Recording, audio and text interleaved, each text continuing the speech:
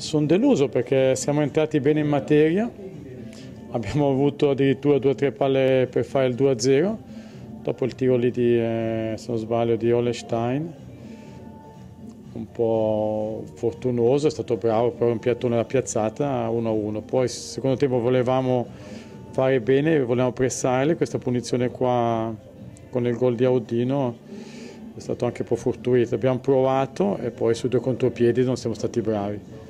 Comunque penso, io non posso rimproverare nulla ai miei giocatori, rimprovo solo a me stesso. Questa volta non sono uno che, che, che le va a dire, mi prendo tutte le responsabilità io.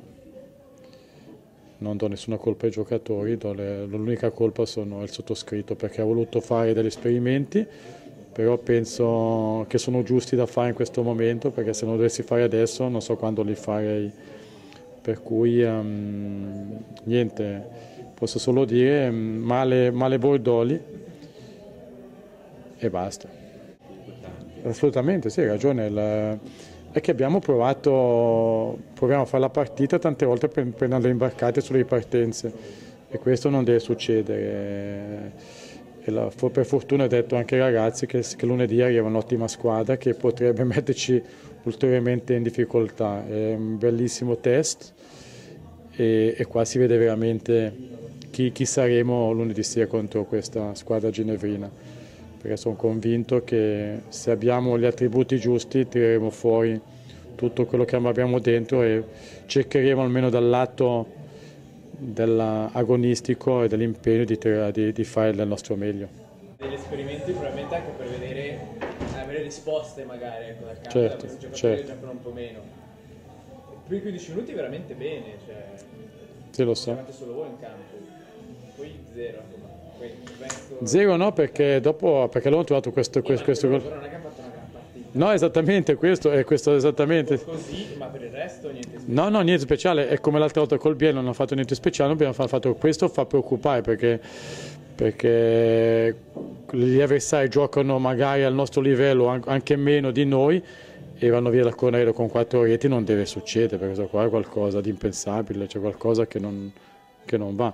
O ritorniamo a come prima, pensare solo a fare il risultato e poi vediamo il resto. Però dato che siamo in questa situazione è giusto che i ragazzi provino a giocarsela fino in fondo e poi qua si vede cosa abbiamo bisogno anche nel futuro, perché se noi dovessimo giocare e prendere queste imbarcate forse abbiamo bisogno di altri giocatori nelle transizioni, perché se dovessimo andare avanti sempre così e prendere quattro gol è meglio cambiare modulo o meglio ancora atteggiamento di entrare in campo, di giocarsela meno, aspettarli e poi ripartire.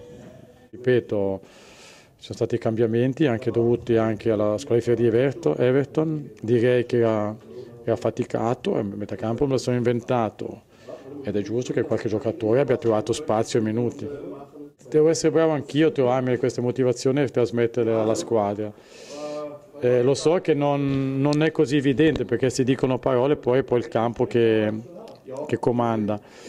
È un buon panco di prova per, per, il sottoscritto e anche per i giocatori perché noi dobbiamo onorare questa maglia, noi dobbiamo onorare la gente che ci mette tanti soldi, passione e, e sacrifici perché essere anche a testa di questa, di questa società non è evidente, una squadra con un nome importante e noi non possiamo fare queste prestazioni, per cui noi dobbiamo onorare, come detto poc'anzi, la maglia del Lugano in primis e poi la gente che ci mette veramente tanto cuore e anima, e per cui i giocatori che vogliono rimanere devono tirare fuori questi aspetti che ho appena elencato, se così non fosse vuol dire che non, non siamo pronti per questa società.